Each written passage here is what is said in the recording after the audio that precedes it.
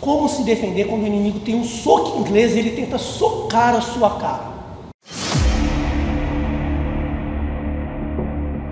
Shalom Caveiras, tudo bem? Wesley Jimenez e hoje para nossa vídeo aula Doutor Otávio. Shalom. Hoje você vai aprender como se defender quando o inimigo tem um soco inglês e ele tenta dar um soco na sua cara. Como agir nessa situação para não levar um soco em cheio e perder os seus dentes. Vamos lá, vamos entender um pouco melhor. Primeiro lugar, entenda que qual a vantagem do inimigo em ter um soco inglês? Vai aumentar a contundência desse golpe. É uma, uma área muito mais rígida, né, que onde pegar machuca muito. Então, as partes moles da mão são neutralizadas, né, que protege lá, tá? Eu dou um soco aqui, ó. Dói, mas é um impacto considerável. Agora, com o soco inglês, ah, o grau de lesão e dano é muito maior, então você tem que tomar um cuidado muito ah, mais fino para que você não seja vítima de um covarde que está portando o soco inglês e ele tenta socar a sua cara. Vamos entender o seguinte, eu vou mostrar algumas estratégias e eu vou mostrar no final desse vídeo a que eu mais utilizo para mim no meu dia a dia e a que eu mais ensino os meus alunos graduados. Então eu vou começar do passo a passo do mais simples para o mais avançado, de acordo com a técnica, de acordo com o que você sabe. Então fique ligado no vídeo aí até o final. O Otávio está com soco inglês. Eu preciso colocar na minha cabeça o seguinte, que eu, o maior risco que eu tenho nesse momento é um soco com essa mão. Você concorda comigo que um cara que está com um soco inglês na mão direita, a mão dominante dele, ele vai desferir mais golpes com o soco inglês? Não tem lógica. Eu estar tá com uma faca na mão esquerda e ficar batendo com a mão direita. Se eu tenho algo mais potente na minha mão esquerda, meu foco é usar a mão esquerda.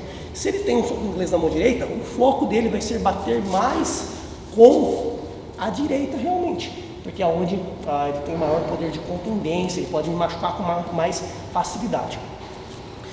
Mas luto tá. Aqui no canal você já aprendeu a importância de se evitar o combate. Aí o cara tá com o soco inglês lá. Cara, se der para correr, corra, se você puder fugir, fuja.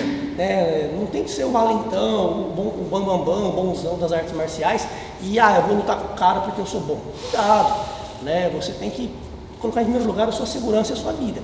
Agora, se não dá para fugir, né, não dá para correr em volta do meu carro, combate inevitável, é bom que você entenda as estratégias que você pode utilizar para maximizar a sua chance de vitória. Quero saber em casa, você já foi vítima de algum valentão que te deu um soco, portou um soco inglês? Conhece alguém que já levou um soco com alguém que estava com soco inglês? Curioso para saber. Põe nos comentários aí. Ah, meu amigo levou um soco, um soco na cara com um soco inglês e fez tal dano, machucou muito. Não, não machucou nada. Eu quero ver aí nos comentários, estou lendo todos os comentários ah, para saber qual o nível de violência com o soco inglês atualmente aqui no Brasil. Coloca aí que eu quero saber. Se você já foi vítima ou conhece alguém que já levou um soco de alguém com soco inglês. Então, aquele. Qual que é o. O que eu mais falo aqui no, no canal? Controle. Controle de distância. Eu não quero levar nenhum soco. Então, a forma mais segura de não levar nenhum soco é eu controlar a distância. Dá um soco, tá? Eu estar sempre na distância correta. Né? Eu nessa distância aqui com o Otávio, ó, bate. Pum, a chance de eu defender é muito pequena. Porque quando o meu, meu inimigo ou eu alcançamos um ao outro só esticando o braço, ó, a sua margem de defesa ela fica muito prejudicada, ela é muito diminuída. Estou aqui, ó, é, é, difícil defender aqui, ó.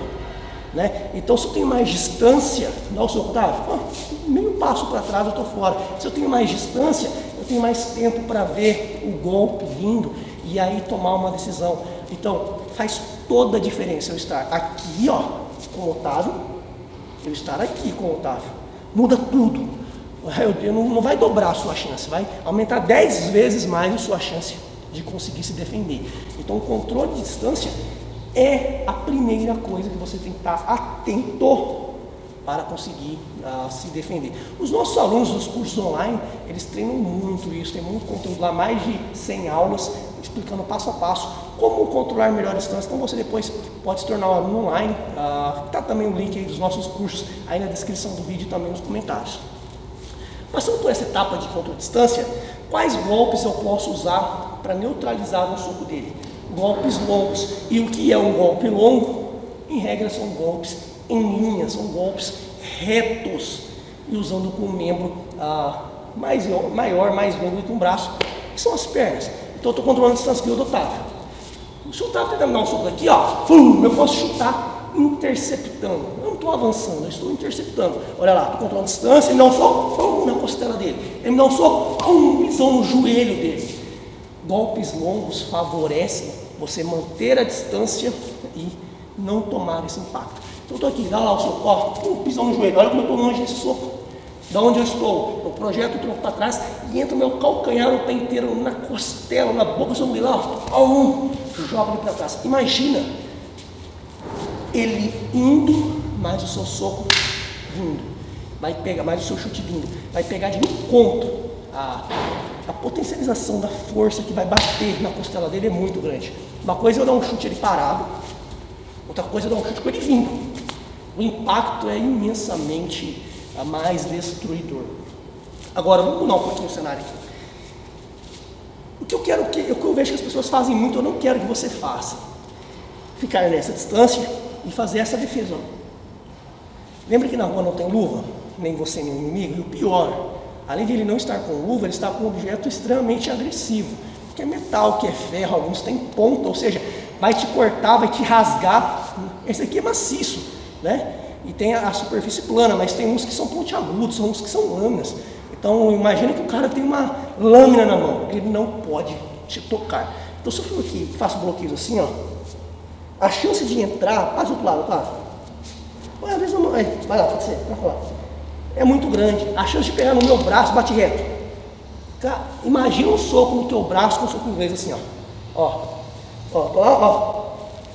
Pode quebrar o teu braço né, essa substância, essa, esse material rígido, como o suco inglês de ferro, de aço, bater no meio do teu braço pode quebrar o osso do seu braço, por causa da intensidade do golpe. Então não leve contato, é contato zero o tempo inteiro. Agora, e quando não é possível, né? O soco veio, não foi possível ter esse chute para neutralizar a ameaça. Aí entra, nós falamos das esquivas ah, e não bloqueios. É, o bloqueio ele é fundamental, mas claro, se eu tiver que levar um soco na cara ou no braço, que seja no braço. Agora, se eu puder escolher, se eu puder ah, ter uma iniciativa primária, ela será não levar não soco, tirar a cabeça, ó, soco, sai, dá um cruzadão, pendura, dá um cruzadão, afasta. Eu preciso me movimentar o tempo inteiro. Tá lá, ó, ó, sai, né, sai, movimento, sai, movimento lá, ó, movimentando, saio,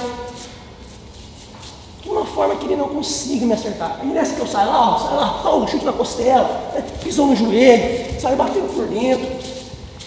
Eu não fico ah, parado no lugar assim, ó, defendendo. Me mexo, ó, saio, chuto a perna dele, saio, piso no joelho dele, bato junto, né, eu esquivo lá, ó, batendo junto.